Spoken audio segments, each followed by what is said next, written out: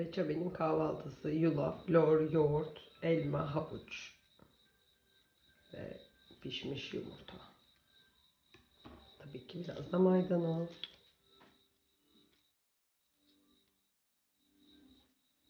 Çabi gel bakalım. Acıktın mı? Acıktın mı? Çok sıcak ama biraz bekleyebilir misin? Bekleyebilir misin biraz? Yumurta sıcak ama daha. Hadi bakalım. Afiyet olsun.